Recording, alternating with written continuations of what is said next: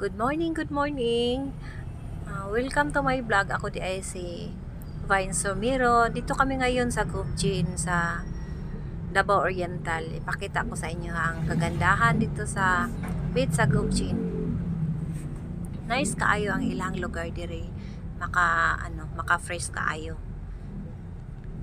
Kasi oh, tingnan nyo yung ano, yung bundok tapos bundok siya pito pero ano tabi ng dagat. Maganda talaga yung view nila dito. Ang gaganda ng coral. Na ano kung binitbit ko talaga yung coral na to kasi nag nagandahan talaga ako sa kanya. Ang ganda ng kulay. To kasama ko yung mga pamangkin ko dito. Nag ano kami naglakad-lakad kami dito kasi ano pa wala pang dagat malayo pang dagat ano pa kasi Maliit pa ang dagat ngayon. Mamaya siguro maligo kami. Yung pagpamangkin ko to. Sinamahan niya ako sa kasi nag-akyat ako kanina doon sa ano. Wow, ang ganda naman talaga ng coral oh. Nag-akyat ako kanina doon sa ano sa may may malaking bato. Tapos hindi ko lang na video kasi ang lakas ng hangin baka maano yung camera ko.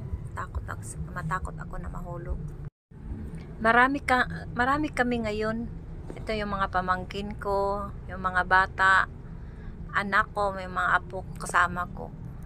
Kasi nagpunta kami dito paminsan-minsan lang para ma, maano ba ma-repress ang ato ang kuan ba. Kay kuan puro trabaho na lang puro trabaho parang ano ano. Kaya ito nagala-gala kami minsan paminsan-minsan lang naman to.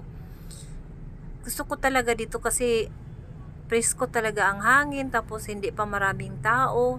Parang ano pa siya ba? Maganda pa talaga siya.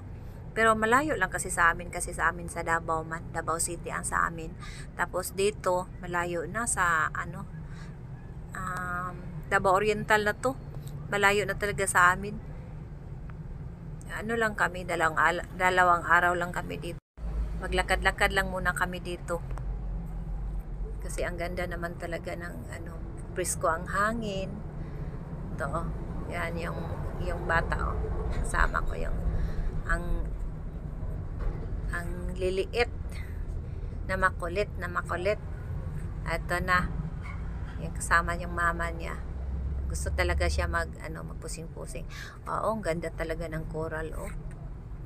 Ka kapareho sa ano sa binitbit ko na coral. Binitbit ko talaga siya kasi ang ganda ng color niya gusto ko talaga yung kulay niya tapos parang buhay buhay siya tingnan. Pero wag kayong mag-alala kasi pag uwi namin ibalik ko naman siya doon sa ano kasi ayoko talagang maano siya kasi sayang ba? Sayang. Ano lang parang hiniram ko lang siya saglit ba pero isa uli ko siya mamaya. Pagkatapos magligo-ligo naman kami mamaya. To Wow, ganda talaga. Sana magustuhan nyo yung video ko. Samahan nyo ako ha. Para makita nyo ang kagandahan dito, dito sa Davao Oriental.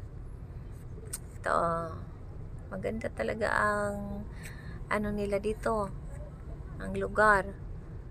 Gusto kong balik-balikan yun. Baka ano, mga ilang buwan babalik na naman kami dito.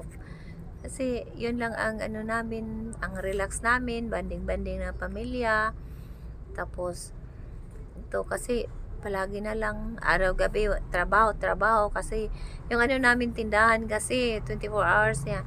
Pag gusto naming magbanding, mag-close lang kami sa tindahan. Wala namang mag-ano sa amin kasi sa sarili naman namin yung tindahan. Kaya ito, gusto naming magbanding, magpamilya, pwede naman i-close. Ito, ang ganda naman lang lugar dito. Dito na rin ako. Pasensya na ha. Kasi, ano lang, gusto ko lang i-share sa inyo ang kagandahan dito sa pinuntahan namin. Kaya yun. Oh, tingnan nyo, maganda talaga dito. Upo-upo muna ako dito kasi, ano, parang nangalay na yung paa ko ba? Nangalay na yung paa ko sa kakalakad. Kaya upo ako saglit. Pero saglit lang naman yun punta na naman kami doon sa unahan. Pakita ko sa inyo ang kagandahan dito. Ito.